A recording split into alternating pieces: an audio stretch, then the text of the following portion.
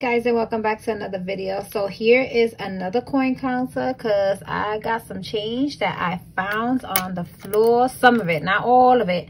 Some of them come from me shopping so let's get started. So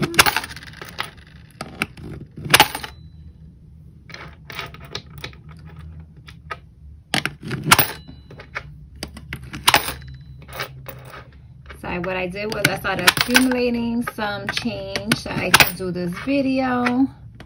Because I have been like doing this is change from going to the grocery store or from me shopping this weekend.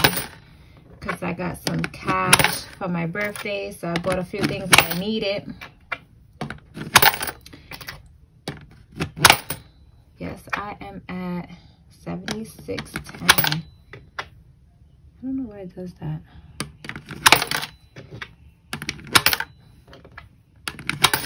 trying to make this video short, not long. And I know someone mentioned that sometimes it doesn't grab um, some of the coins, which it's not that bad because I don't, it don't always happen but it does do that time to time. And let's see what we have here. 7770. I should go play that number. Okay, let's see what we have for our pennies.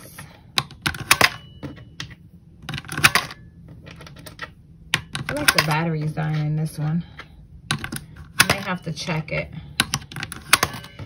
to see.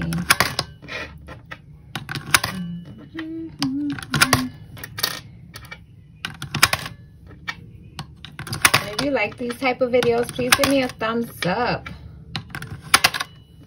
because it lets me know that you like these and I can continue doing it. And we have here $3.83. Woohoo! And this thing is still not halfway. It's still not halfway. This is going to take a long time.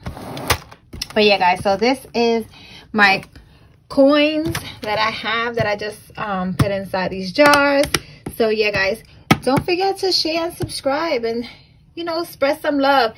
And I want to get... Okay, and today's shout out, I want to give this shout out to P. Brown Eyes Forever. Girl, thank you for all the love and support that you always show from every video that I put out. And I, I'm really grateful and I appreciate it. Thank you so much. And for everyone else, thank you so much for supporting my channel. I love you guys. And I'll be seeing everyone in my next video.